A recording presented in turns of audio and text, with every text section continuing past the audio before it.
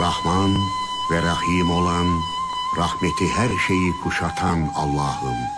Göklerin, yerin ve ikisi arasındaki her şeyin sahibi olan Yüce Rabbim.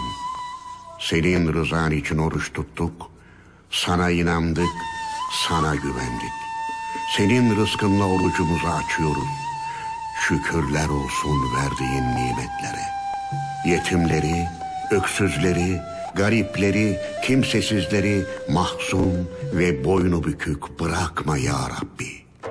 Bizleri acizlikten, tembellikten, korkaklıktan, cimrilikten, hayatın ve ölümün fitnesinden koru.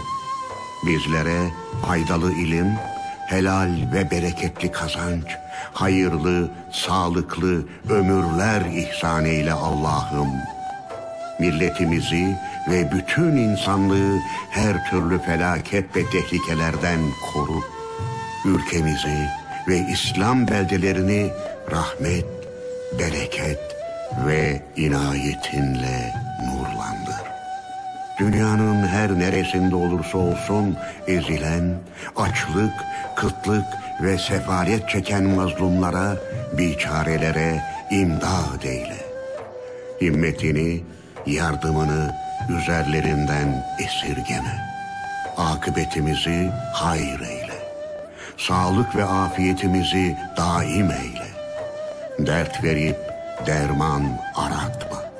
Dayanılmaz acılar yaşatma.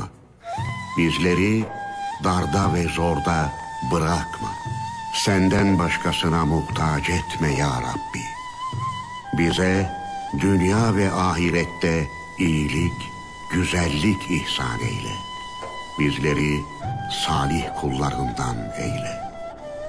Senin her şeye gücün yeter Allah'ım.